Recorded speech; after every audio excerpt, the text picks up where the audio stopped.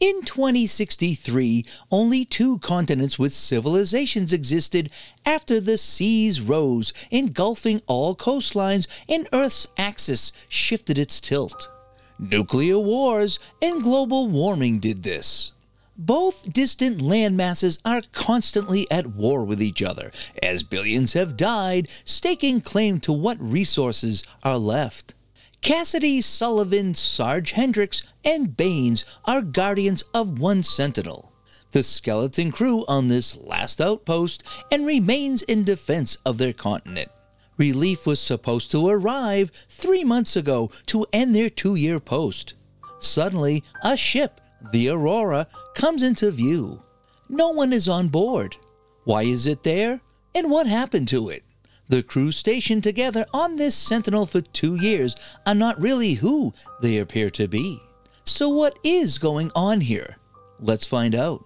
Just 40 years in the future, climate change has eliminated all but two continents, and the sea has taken over. These remaining land masses are at war with each other over the limited resources. A skeleton crew on an outpost, the Sentinel, prepares for another storm. Being out of supplies, they are fishing and catching a good haul which will sustain them since their resources have dwindled. But the Category 9 storm is approaching. Cassidy tells Sully to hook the net, but the waves are rough and he can't get a hold of it. The outpost springs a leak and things are tumbling about. Cassidy tells Sully to leave the net and come inside to batten down the hatches.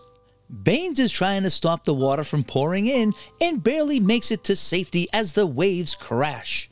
The impact tears away the net, and now they have no food. They have been stationed there for two years and are three months overdue for their relief.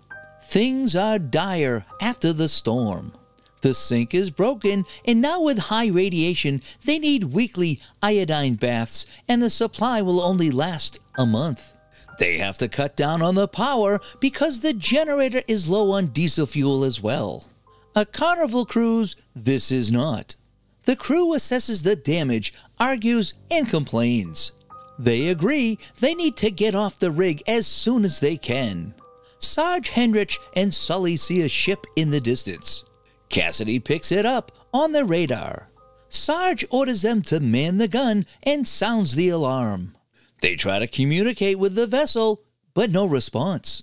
Sarge tells Sully to take the dinghy and investigate on his own. They protect the swallows together. The ship's name is Aurora, and it appears to be abandoned. Sully turns off his radio due to loud static and searches about. There's plenty of needed food and iodine. The crew helmets and gear are ready, but it is as though everyone disappeared.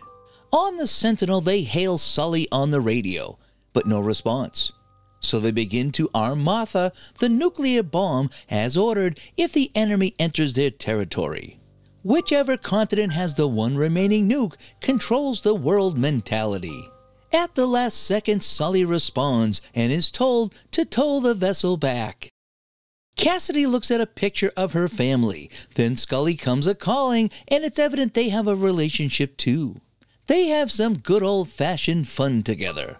While bathing in the iodine, the crew is discussing what to do. Sarge says they will not report the mystery ship until they have more information. Sarge accesses the Aurora's navigation log and begins to plot its course. They communicate with the mainland via Morse code when making the daily report. Sully sends a message inquiring about the Aurora against the Sarge's orders. All are at the bridge awaiting an answer when the Sarge enters and hears the return message. Baines rats out Sully, but the message is a mirror, the exact words of Scully's outgoing message. No one on land downloaded it, and it came back around. Hmm, mysterious. They assume a malfunction in the signal and expect a reply within days. Baines sneaks on board the Aurora and gets caught by Sully upon his return. So he shows he stole a whiskey bottle and the two chat. Baines states that his wife, who works for the military, suspects the inhabitants of the enemy continent no longer exist. No one has seen them for 40 years. But they keep the outposts because they just don't know. They're getting drunk, and Bain says that he thinks he can get the Aurora running so they can make it to the mainland.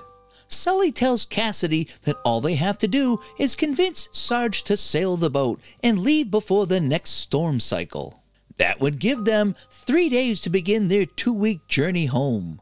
They get the ship running, but when they inform Sarge Hendricks, he tells them to break the engine down and remove it all for parts.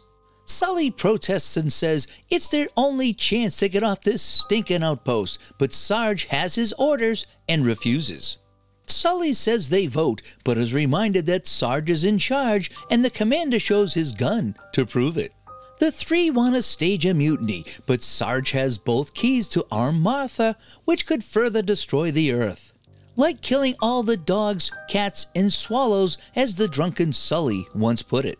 Sully thinks Sarge is crazy enough to do it if the three take the Aurora and leave him behind.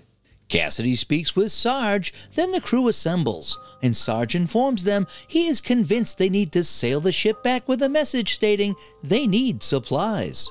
His plan is to have him and Cassidy stay behind so as not to abandon their post. Baines and Sully will take the ship. Sully goes to visit Cassidy and offers to stay so she can return to her family. Cassidy tells him no, just go pack. He then offers for both of them to stay on the outpost because he loves her. She says he's only been a human necessity for her. He means nothing. Ooh, that's gonna sting. Just a boy toy? Really? That hurts. Sarge is looking at the coordinates last traveled by the Aurora and he notices something strange. He contemplates telling Cassidy, then realizes he shouldn't. There is another ship in the distance, and Cassidy hails them to no response. Sarge tells them to shoot it, and they fire, but miss. Sully and Baines then see it is their ship, which they were to take to the mainland. It has just drifted away. Everyone except the Sarge says they shouldn't sink it. When Bain refuses, Sarge shoots him. Sully shoots and destroys the ship. Cassidy hits Sarge in the head, knocks him out, and they drag him to the hold. They now have both keys for their nuclear bomb, Martha. Baines is adamant that they do not let the Sarge out. He is traumatized over the incident and is drinking heavily. He even says he quits. Sully visits Sarge and asks why he changed his mind about leaving on the ship. Sarge replies he retraced the ship's route. It was here three months ago. As planned, the Aurora was heading straight toward their beacon to change crew and bring them home. But then it veered away. Then it stopped five miles from there. Why stop? After that, it was just drifting aimlessly. So the question is who of the three crew went out there with the beacon and killed the crew? Sarge says whoever did this cannot get a hold of Martha, the device. He must be let out to find who is behind this sabotage. Request denied. Cassidy shows Sully the picture of her family. He always thought it was her children and husband. She points out that she is actually the child in the picture hiding her face. It was the only picture ever taken of her family. The following year, she was sent off to school and the enemy bombed her town, killing her whole family. Baines has been drinking heavily and neglecting his engineer duties.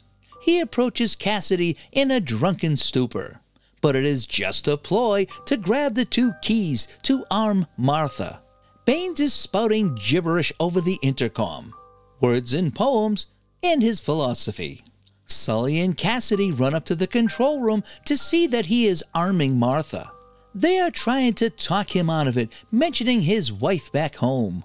He stops before adding the last number.